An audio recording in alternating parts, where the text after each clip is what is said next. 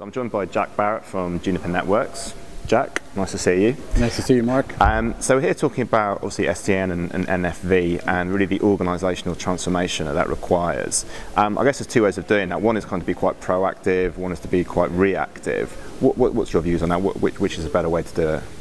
Well, I think being proactive is always uh, the better approach. Uh, it allows you to learn more and set your own agenda and set objectives.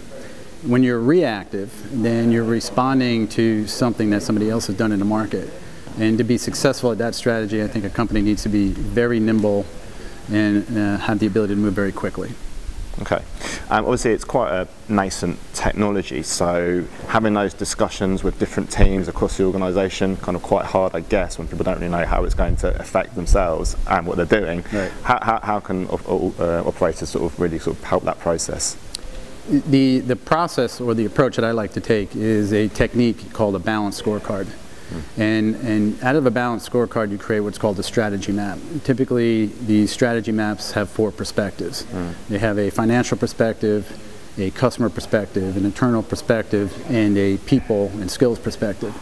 And what you do is on each of those perspectives, you start to outline your objectives and metrics around each of those. And once you do that, it's fairly clear you know, how you can, um, you know, discuss with other organizations, you know, what their particular objectives are. And via the strategy map, you can see how they are all interrelated. Mm, okay. Um, obviously, one of the other key topics is how it's going to kind of affect purchasing decisions, um, particularly around sort of network technology. Um, what are your sort of thoughts on that? How, how is it going to affect that, that area? Yes, uh, so that's a great question. The, I think that's going to be a, a big evolution in terms of the supplier and customer relationship. I think they have to start to look at suppliers now as more as business partners in a lot of these. You want to look for a supplier uh, that will co-develop uh, new applications. You want to look for a supplier that will bring an open ecosystem of partners um, because it's a much more dynamic environment, right? So I think it's very important to look through partners that can enable you to do things that are outside your core competencies and think through them as strategic partners and not as a traditional customer-supplier relationship.